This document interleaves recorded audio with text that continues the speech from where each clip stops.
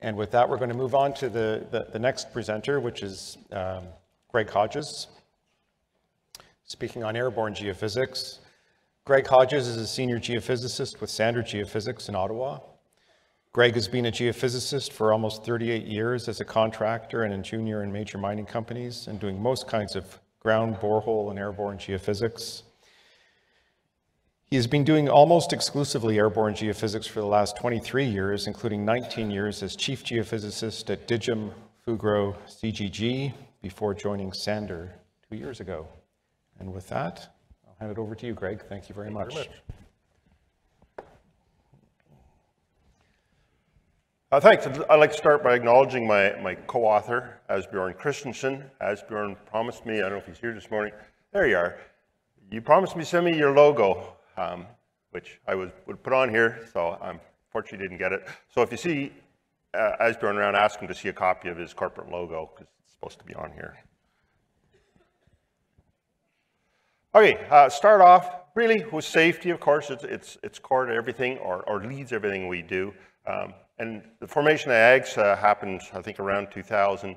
And you notice the accidents, the number of accidents went down from about 12 in 2000 Around about 2003, they were down to just a couple a year, two to four, and have stayed pretty steady since. Conversely, the number of incidents reported went from about two in 2008 up to about 20, and these are all per 100,000 hours of flying. The number of AGSA members has gone up over about the same time, up to about 30.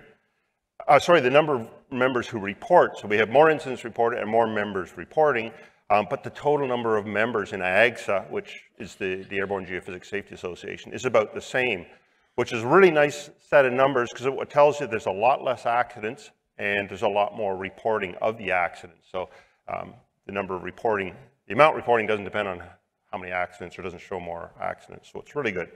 Um, here's the number of flight hours that are reported to AGSA. Of course, uh, airborne contractors being cagey lot don't tell a lot about how much money they're making. But the pattern, and if you look at some of the reports on exploration expenditures, you'll see the exact same pattern repeated. You could actually uh, match them one for one. So 2011 was a great year, and now in 2016, we're flying less than we have in, in decades. Um, so very poor, very poor decline. I'm not going to prognosticate business. Uh, I take a guess at geophysics. That's easier than business. Um, but it's an interesting story. Almost 20 years now since Fugro basically tried to buy everybody and capture the market. Uh, they obviously had no understanding of the wild free enterprise in our market because there's more suppliers now than there ever were. Um, so it's changed. Th those have changed, but a lot of the small players, uh, they're all still around. Very few have disappeared, but they're uh, fairly, you know, they're, they're low overhead companies. They can stay alive in, in tough times. Some other changes in the business side, high-speed internet has really changed a lot. It's now possible to take the processing out of the field and move it to the office.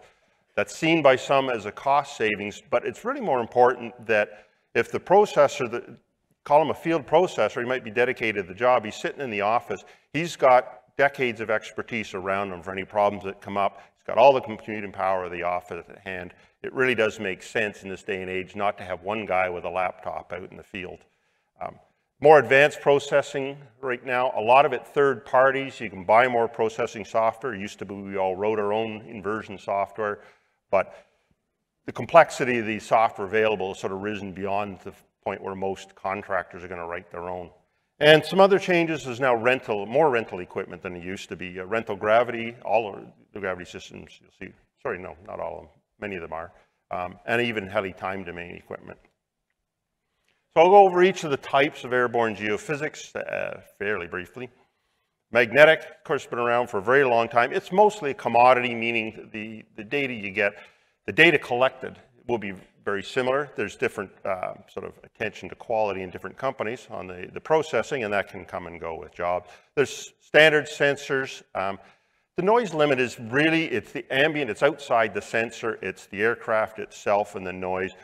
So although there's super high res sensors out there, if your noise envelope from your aircraft is a, a tenth of a nanotesla, there's no great value in having uh, a picotesla sensitivity in your sensor. So a lot of it is very similar, and that again makes it more commodity based. Um, MAG is an optimal sensor size, as we'll see when we talk a bit later about UAVs and drones.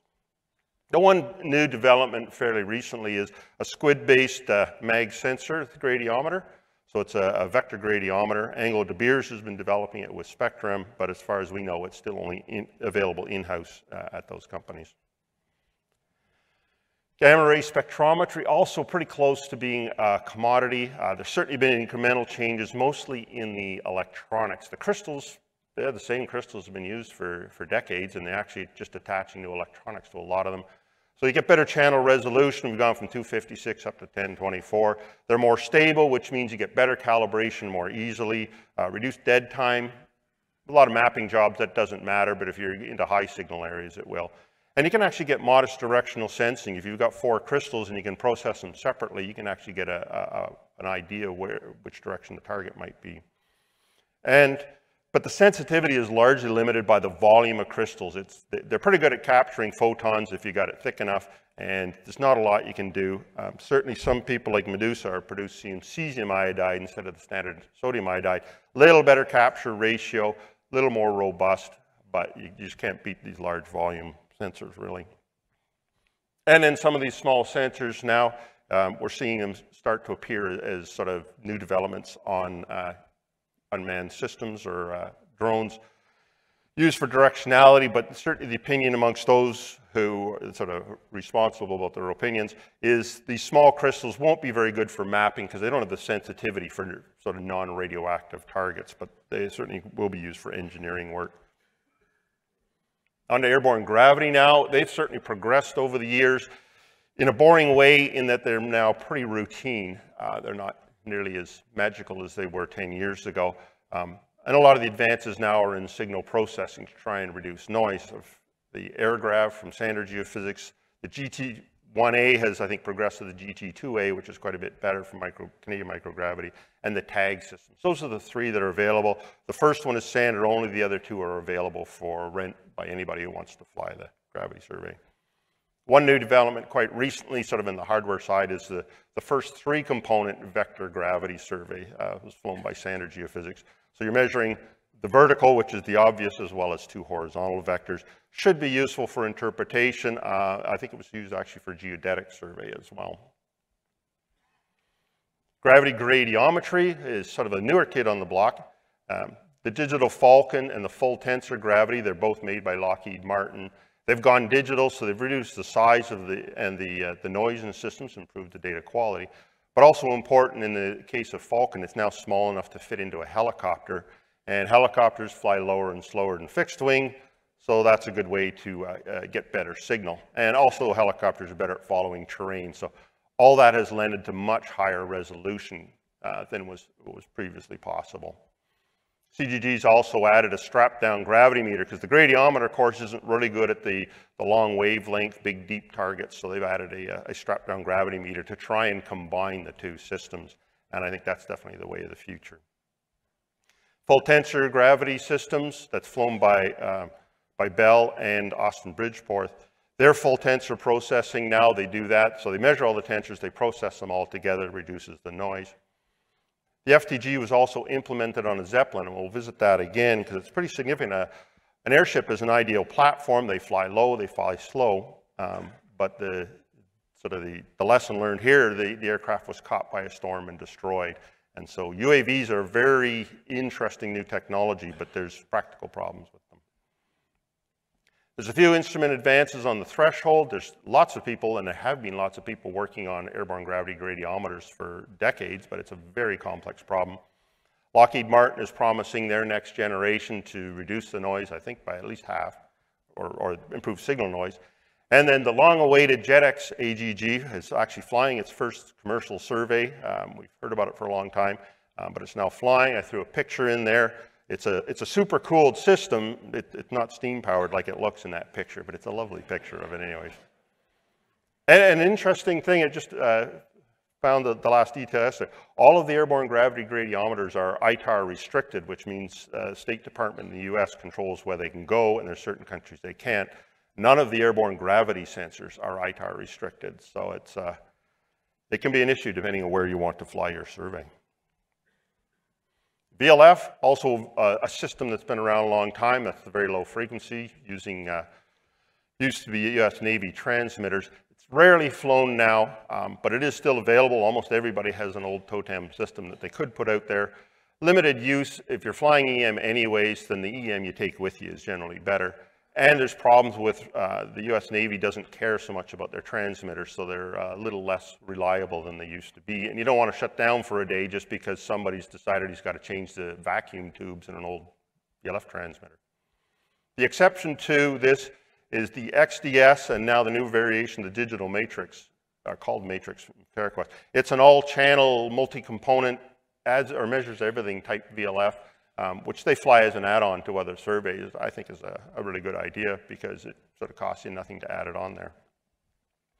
And there's also now a VLF uh, available on a, a, drone or UAS system from MGT. Uh, that's quite new, sort of, I think still experimental. Passive EM, it's interesting. It's been around quite a while now. The, the ZTEM from Geotech, though, is the only one that's out there. Um, you've got a Z component receiver and an XY base station, uh, which, if you know, MT means you can only measure the, the tipper, um, which is a, a very effective but, but less sensitive than full MTs. It's nothing like full MT, but it's still quite effective, and it's airborne, which is the advantage. Um, they're the only ones who've produced it. Nobody's decided to challenge them in that market. Um, fairly recently or more recently available on fixed wing. It's always been a helicopter system as shown on the left. Uh, the one on the right is a fixed wing. I would interpret as not having been very successful because they have many uh, helicopter systems, but only the one fixed wing system. Fixed wing frequency domain EM is an older type of system as well, and one that's generally gone out of, uh, out of fashion, if we can call it that. The only one that's flying right now is the Sander's SIGFEM system. Um, and you can see the wingtip system, the EM systems mounted on the wingtips. This used to be a, a, a Finnish system. Um, but they're very fast because it's fixed wing. They have a high resistivity range they can map because they're frequency domain. So it's a good mapping tool. Um, and at Sander, it's under a very thorough modernization.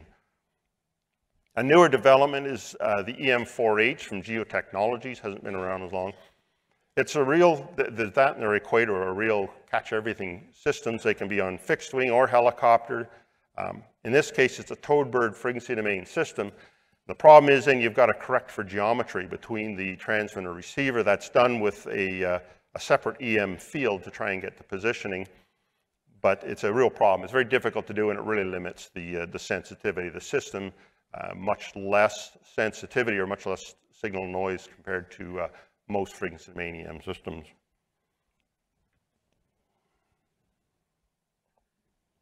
Helicopter frequency domain is another one that's been around quite a while, some of the older systems. Now it's mostly the Dighem and Resolve. They're the ones that, uh, the most systems and the most advanced systems on the market. The tune coil systems, five or six frequencies. There's two or more, or two geometries in, in each. Um, really ideal for high resolution EM surveys, uh, very high range of resistivity as well. So if you want to get up into the 20s and 30,000 ohm meter, you've got to have one of these systems. But they don't have the depth of expiration that uh, many systems do now. And they haven't really shown any advances in more than 10 years. So the systems are there, they work for their particular market. But there's still a few even older ones or smaller ones around, like the hummingbirds that were made by McPhar and sold or, or rented out years ago. Uh, they're small, I would call them low-tech systems compared to the uh, Dighem Resolve. And there's Gem 2As from, they were made by Geophex. Geophex bought by AeroQuest, or, and then that was bought by Geo. So I don't know if they, you can get them. Geotech owns them now. Um, their broadband system's also low-powered compared to the others. And there is one new player out there, the Atlas system from Precision Geosurveys. It's also a, a broadband uh, programmable, so it's only got one set of coils or broadband coils, and you can program it to what frequencies, which generally means they're lower power. And again, this EM4H from Geotechnologies, which can be fixed wing or helicopter, and it still has the same problem of uh, positioning. Fixed wing time domain EM is interesting. It's a, a, a, senior system, been around a long time, but really a declining field, uh, challenged mostly by the heli time domain EM systems, which we'll talk about next. The big beast that was around a long time, the Megatem 2 from CGG, used to be the most powerful EM uh, on a fixed wing, or on a four engine aircraft. I would characterize it as being in palliative care now. Uh, you're not likely to ever see it fly again. Um, No contractor ever wants to say, no, we don't do that anymore, but uh, certainly my interpretation. CGG's also basically pulled their GEOTEM line. We saw some GEOTEM data from Dennis. Um, and they're focused really on the Tempest, which is a small fixed wing time domain EM system, about 60,000 meters squared. And then the other player, the other one that's been around a while is Spectrum. They have a, a fixed wing time domain system on a Basler, I guess it is, um, but only one of those systems. So although it's an effective system, unfortunately with only one on the market, it's pretty hard to get a hold of it. One new player, uh, just in development now, it's not flown commercially yet, is, uh, well, they're calling it the ZAG-M for now, which is a tough sort of a name from Excalibur, and it's fit on a, an AGCAT, that small uh, crop dusting aircraft. Modest power at this point. Um, it's not going to challenge the big helicopter time domain systems for, for exploration for deep targets. Um, so it'll compete with the Tempest type small fixed wing time domain systems for mapping type work, I'm sure. And then heli time domain. Uh, interesting one. It hasn't been around more than, well, 17 years, uh, almost 20, I suppose, for, since first development. Despite the abysmal market that we're in, it's unbelievable how many systems there are, and they're still being developed. I don't know if it's because there's more people with time on their hands to develop these things, but um, there's still lots. There's more than 25 different systems out there, uh, probably more than all other airborne geophysical systems put together, so I'm not going to go through them all. Um, it would take quite a bit of time. Um, but highly time domain compared to the big fixed wing systems, it's lower cost to build it, to own it. You don't have to have an aircraft sitting there, and a lot easier to mobilize. If you have to send it across an ocean, then you can just pack it up and ship it instead of having to try and fly these aircraft across. They have more power and better resolution than the fixed wing systems, which is why they work so well. Um, and there's a lot of time domain EM expertise, both in the industry building the systems and in people processing and using them. An interesting change, there was always this race to having the biggest, most powerful time domain EM system, up to over 2 million amp meters squared for the transmitter. That really seems to have died off now. People have, have, quit bragging about how much power they have, and now they're trying to get better signal to noise out of the, the instruments they have. The big players, Geotech is probably the biggest. They have, uh, they've been working on, on higher power systems, although they seem to be stopped playing that up so much because CGG stopped playing up their power. And they've also developed some lightweight systems so they can fly in the mountains a little bit better. And a lot of work on signal processing to exchange, extend the range of sensitivity, uh, weak and strong conductors. CGG, they're kind of letting go the, the push to the highest power and gone to transmitter-centered receivers, more like the, uh, the Geotech systems. They've got the multi-pulse, which has uh, a big and a little pulse to try and get strong and weak conductors. And as well, fairly recently announced that they can go to 15 hertz, which is to get below 30 or 25 hertz has been the goal for decades in, in airborne EM, and uh, they seem to have done it.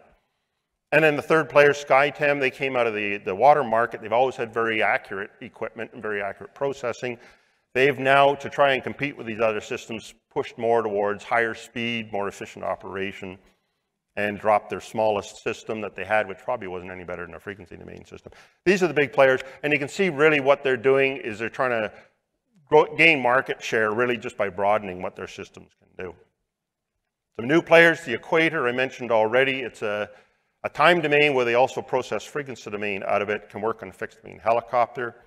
Xcite from NRG, it's an interesting one, that's the picture here. That structure is inflatable, so it holds itself semi-rigid just by uh, air pressure within these tubes. And an interesting sort of bit of a history is the Gemini that was developed by the, uh, the team at RMIT. They had the transmitter receiver on separate aircraft. And that's an idea that was tried many decades ago, but what changed that made theirs work better is we now have dual frequency GPS. We can position the two aircraft relative to each other within probably centimeters over hundreds of meters. It worked, uh, but it was never commercial. I would say it's probably because you've got to have twice as many aircraft out there flying your survey. Something that's been around for years is getting induced polarization data from time domain EM data. Um, but the recent rush in just the last few years is actually to commercialize it, say, well, darn it, we're measuring it, we're, it's interfering. It was always removed from data as a nuisance. Um, so now it's a product. And basically, you take the decay curve and try and fit conductivity and IP models, two curves, to one uh, original decay curve, and if you throw in super paramagnetism, you got a third curve. That's very tricky to do um, in, in complex geology. So it works, the math works, you get an IP result out. Biggest problem really is prediction. Uh, we don't, we can't say this geology will give us char this chargeability along with this uh, connectivity. So it's very hard to use it if you can't predict when you're going to see it. And at present, there's no airborne EM system that has yet been designed to enhance the IP effect. That will probably come along. Another type of system that's been around for years and, and comes and goes is airborne ground systems or air-ground hybrids. You put a big transmitter usually on the ground and then fly your receiver around. On the left, I've listed the advantages to it. You've got a big transmitter, there's a ground type advantage, lots of depth. You cover the ground fast, you can have a, a, a receiver that's too heavy for a person to carry, and you can fly up and down bad terrain quite well. So those are the advantages, but with those, unfortunately, comes the disadvantages of each. On ground, you've got the problem of loop layout. You've got to have a crew to do that. You can try and do it by helicopter, but it means your helicopter is not collecting data. And you can't go very far from your transmitter, as opposed to an airborne survey where you take your transmitter with you. The airborne disadvantages to these hybrid systems are logistics. You've got to have now a helicopter and pilots and aircraft maintenance engineers out on the job. And you got a short time on station. The advantage of ground geophysics is you can plunk yourself down for 10 minutes, 20 minutes if you need to to stack data. You can't do that if you're flying by at uh, 100 knots. Systems that are around, GREATEM is one that's been around for a while in Japan. Uh, just a standard time domain large loop or wire transmitter system, but I don't know if they've ever done anything outside of Japan. And quite new is the SAM, the sub-audio magnetic system. It's a very high power system. You get true B field, but that's done with the cesium magnetometer, so you get total field. You don't get vector, which is a bit of a limitation I'm sure they're going to work on. And they're also talking about putting it on a drone. I mentioned airships and hybrids. It's an idea that's been around a long time. Um, they're lots of lift, they're very stable, they fly slow and low. This is just ideal for doing geophysics.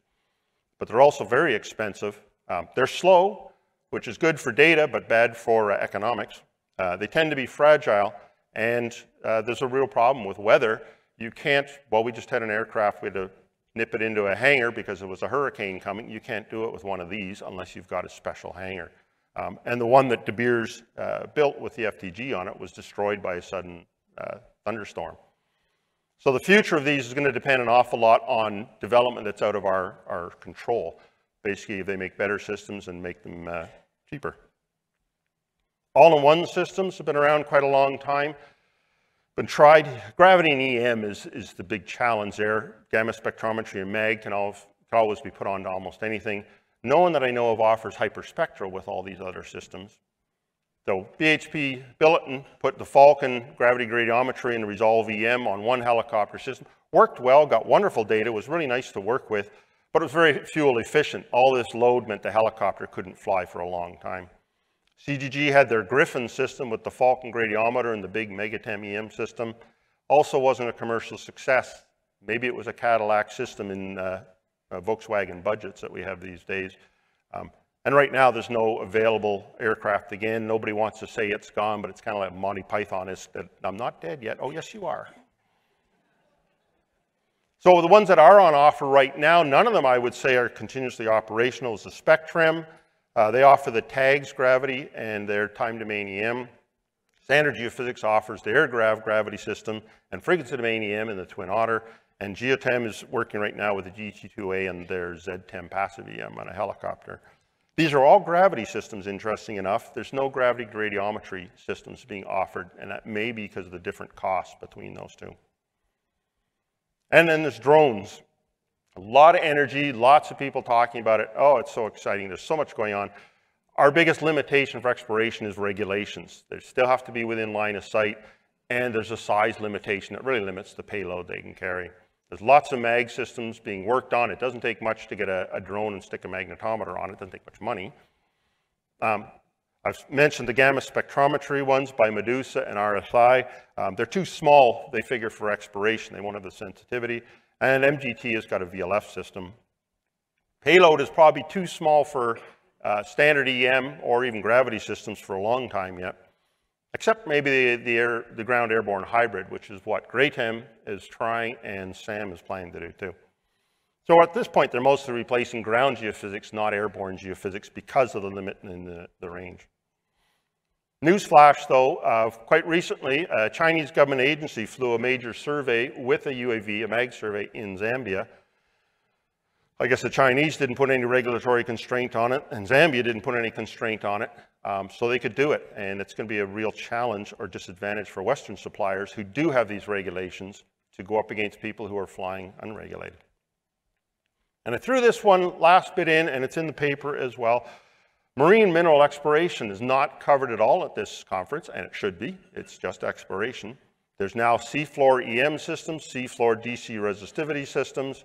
They're all on autonomous vehicles, on remote vehicles. Um, they've all been used on SMS, which is submarine massive sulfide, or VMS, they're conductive targets. Um, but there's also MAG and synthetic aperture sonar, um, which produces wonderful images for, for mapping the seafloor. They're good systems for their speed and their low flying for gravity or low floating. Um, but there's problems with attitude control, which is so important in gravity, and of course, pretty expensive to put a, a gravity system down on the seafloor. So what do we see for the next 10 years? I think vector mag should come along. Maybe it's wishful thinking. I've always thought we should have more vector mag out there, especially for small targets. In gamma ray, probably it's going to be mainly small sensors, high res, which will be more environmental engineering. Gravity, we've seen some vector uh, options, and there's going to be more competition for gravity from the gravity gradiometry as they try and extend their bandwidth. I think the combination of the two is really going to be the future. Better sensitivity on the AGG is certainly needed, uh, and shorter wavelength. They sort of come together in a lot of cases. Um, more options, some not ITAR restricted, some that, where the technology isn't owned by the, the US companies would be good. Smaller system time domain, uh, fixed wing time domain, what we're seeing is small systems used for mapping. Um, really the same thing with frequency domain fixed wing systems. They're going to be mapping tools mostly because they can't compete with the helicopters for resolution and power. In helicopter frequency domain, it will probably continue as is. It's the niche application, gold exploration, engineering work. Really needs to be marketed in the engineering field. And then heli time domain, I think the fierce competition is going to continue. There'll probably be some companies fall out, but because they're all overhead, a lot of them will stick around. Um, and there's a real range of systems from big and high quality to some real small cheapies. Airships, the further testing and experimentation needed, uh, but they're too expensive right now, so we'll see where the industry building them takes it. All-in-one systems, we need lower cost systems with mapping suitable resolution. Gravity might not have the resolution for good, a lot of mapping.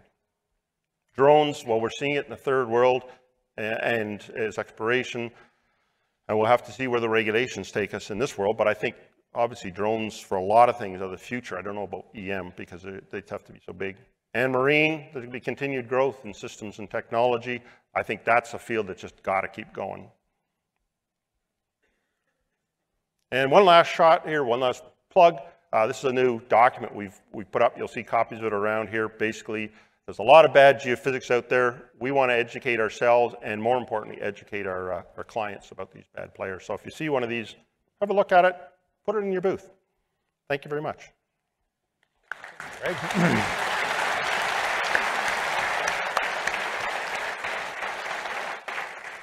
so we'd have time for maybe one uh, question if there is one.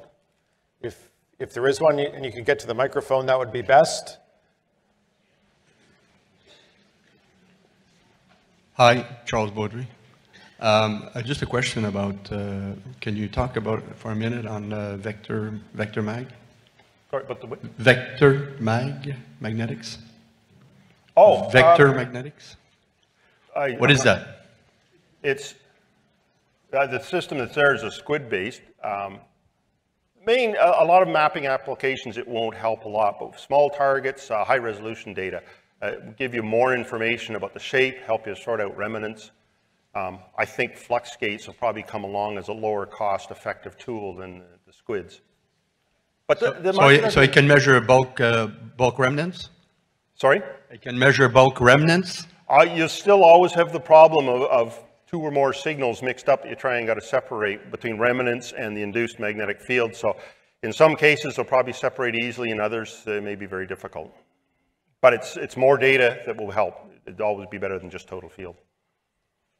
Okay, thank you very much, Greg. Yeah. Okay,